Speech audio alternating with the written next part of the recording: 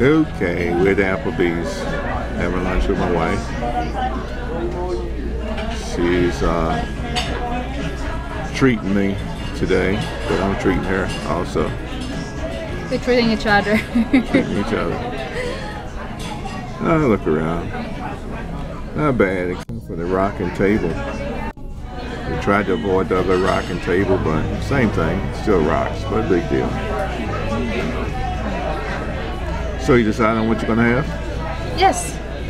This is I'm gonna get uh, the Fiesta lime chicken. Is that lime Lime. chicken? Yeah. I And guess it's in the basket.